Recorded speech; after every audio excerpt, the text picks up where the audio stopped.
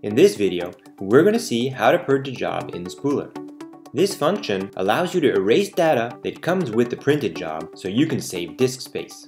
Once the purge is done, the job cannot be printed again. Before purging, be sure the job import has been made in CostView. Here is the first method to purge a job. Open the spooler. Then, select your job in the print queue. Finally, click the Purge button at the bottom of the window. Here is the second method to reopen a job. Open the spooler. Then, select your job in the print queue. In the menu that appears, click Purge.